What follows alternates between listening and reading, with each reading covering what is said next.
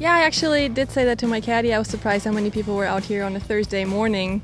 And uh, it's, it's great to see. It's just, you know, shows how much our tour is growing in popularity and we have this amazing fan support um, that we're very proud of. It's amazing, you know, the golf course for starters is it's awesome and it's so nice. I was just telling every, people over there that it's so nice how everybody's so happy to have us here, you know, and they thank us for coming. So we, we really thank them for having us. So it's, it's so nice to come to a new place like this and obviously everything is beautiful but they really want us here so it's much appreciated. I mean i just walked up you know up to the tee today and i was really surprised how many people were there watching us and it's just the first day and it's you know just thursday and there are so many people supporting us so it's always good to see that you know when it's in, a, when it's first year so um, you know we're gonna get more probably more crowd next three days. I mean it's incredible. It started out in the practice rounds and then a ton of people came out for the pro am and it's just been getting bigger and bigger. Yesterday it felt like a sunday you know final round and it was only Friday. And today it's been been awesome. Um, I'm so glad that we're back in this area. Just